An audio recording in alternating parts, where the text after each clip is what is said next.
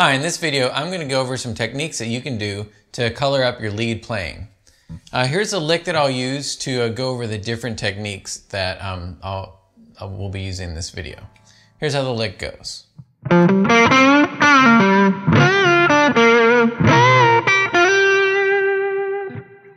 Okay, so the lick has three parts to it. It has the kind of introductory phrase and the answer, and the conclusion. So the introductory phrase uh, goes like this. It's we're in the key of G here, and um, so we're at the uh, third and fifth frets of the D string, the fourth string, and then the third and fifth frets of the G string, the third string we're going to bend that fifth fret of the G string up a whole step, up to the note that's at the seventh fret. So when, when you're, if you're new to bending, you want to definitely practice hitting the target note on the guitar and then do the bend till you get to that target note. Um, some tips on how to bend. Um, you can use either two or three fingers to kind of support that bend.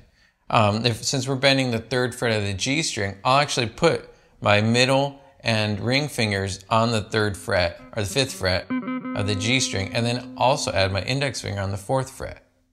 And then you can practice bending with your thumb on the back of the neck,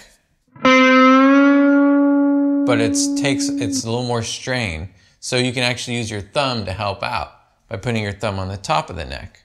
And then you're just doing like a kind of like a squeezing motion. Keeping your three fingers pressed down the whole time and your thumb here, you use your thumb and your fingers both to create that um, bend. Okay, so the lick starts with those four notes and you bend up on the fourth note.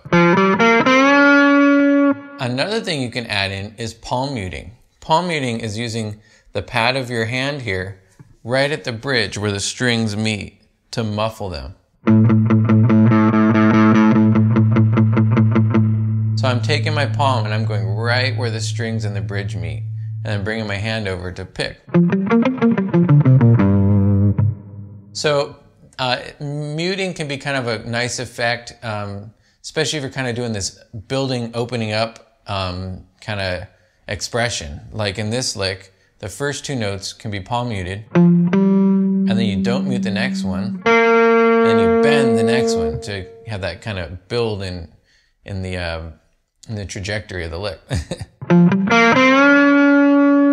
and then once you're up there, it has a pre-bend pull off. So what you're doing is you're up at that note. While you're up there, you're gonna pluck it return, and then do a pull off. So while you're up there, you want to keep your fingers down. You can keep your thumb up here, but as you move down, you might want to move your thumb towards the back because you're going to switch from like bending position into a pull off. So once you get down, that one was a little bit too high. Then switch to moving your thumb in the back and your ring and uh, your ring finger stays there, your index finger to the third fret.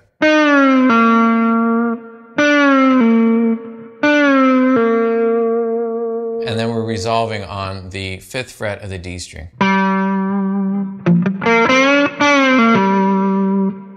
Okay, so that's our introductory lick. Then we've got the uh, response. For that one, uh, the bend is a little different. It's a bend and return. Again, it's at the sixth fret going to the, it's a whole step bend again. So we're going from the sixth fret to the eighth fret. So do a little check. Do you know what note you're going to? And um, eventually you're going to start to hear the note you're going to and it'll, it'll become much easier. But so since this is a bend and return, you want to keep that bend position the whole way and you want to keep your fingers pressed down all the way until you're done returning. Right? And then when you get down to the bottom there, you want to shift back, you can bring your thumb back, bring your index over to the third fret of the B string, and the third fret of the G string. So we've got Okay, the other thing I'm adding to this is a rake. So I'm doing, it's a kind of a nice percussive sound to kind of build the attack of your riff or lick. And what I'm doing is I'm using both hands to mute. Um, on my left hand, um, I'm using my index and middle fingers to mute uh, because I'm fretting the note with my ring. So we're at the sixth fret of the B string, fretting. And so I'm using my index, oh, index and middle fingers to kind of lightly touch the two strings I'm going to be raking. In this case, I'm raking the, the uh, D and G strings. And so we want our fingers to be nice and straight and flat, two fingers, and lightly touch those strings. If you push too hard, you're gonna get notes and stuff. So you just wanna lightly touch it with two fingers. The reason you do two is because if you have one, you're gonna get harmonics. So two makes it a little more muffled. I also muffle with my hand over here, just like palm muting, except instead of being where the bridge and the string connect, I'm gonna be up here in the kind of pickup zone or where I'm picking. That way it's gonna be completely dead. Like you don't even have notes anymore. If you move back, you'll start to hear the note kind of come out.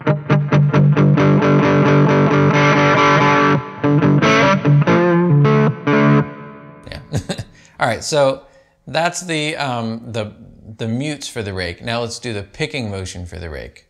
So we've got our two fingers muting here, lightly touching, nice and straight and flat on those two strings, the D and G strings. And we've got our ring finger fretted at the sixth fret of the B string. And I'm gonna rake with my picking hand going from the D to the G to the B strings, like this.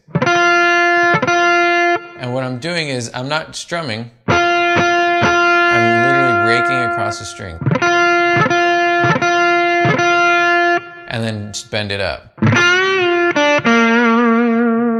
Okay, so now let's uh, go over the rest of that lick. So we've got the rake with the bend and return. That's the third fret of the B string, then the third fret of the G string. If you want, you can add some vibrato there.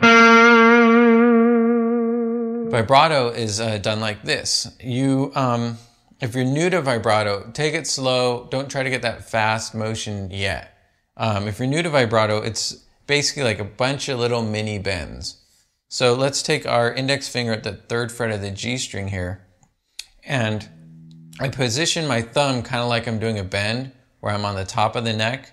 This gives me a good anchor point for my little mini bends. So basically what I'm doing is I'm anchoring my thumb here, and I'm just kind of like turning the doorknob, right? But um, my anchor is with my thumb to kind of help bring that note up and down. I even sometimes anchor a little bit right here too. I think actually BB King only anchors right here. So it's up to you. You can see what works for you. You can anchor here or you can anchor with your thumb. Um, and so the when you're first working on the vibrato, just think of it maybe more like a bend. You can exaggerate it, go slow. You're bending up and down towards the floor, but the pitch is going up and down. And then eventually you'll get more uh, comfortable with it and the speed will just naturally come. Another thing about vibrato is it sounds good if you don't do it right away. You let the note sit for a sec and then add your vibrato. All right, so let's go to our concluding lick, uh, which only has one new technique, a slide. So now we're going to the first string, sixth fret, doing a bend and return. We can rake it if you want. Then we're gonna go to the third fret of the first string, and then the third fret of the second string. Oh, no, sorry, I was thinking the middle lick. The concluding lick goes, so we're going, we're bending the sixth fret of the first string up and down, and then we're gonna pick the third fret of the first string, and here's our, our slide. We're gonna fret the sixth fret of the second string, the B string, and slide it up to the eighth fret. And so when you're sliding, um, you just wanna keep the pressure down with your finger. Um, it's really, it's you don't necessarily need like anchor fingers like you do with the bending um, and the vibrato. Well, vibrato with this finger. We'll get there. But um, so sliding is really just that one fretted finger holding it down and just like going right up to the note that you're going to. Um, when you're sliding, you can sometimes wait to slide or slide right away. It's a different effect. Here it is if I wait to slide. Here's if I slide right away. So that first note becomes a grace note if I slide right away. If I don't, they're both kind of like uh, notes with uh, rhythmic value. Um, another neat little thing about this is um, you're actually sliding into the note you just played. Uh, I think I first saw this from like learning a, uh, was it BB King solos? I think he does it. I think uh, Eric Clapton does it. So it's it's kind of a common lick where you hit that note and then you slide into it or bend into it.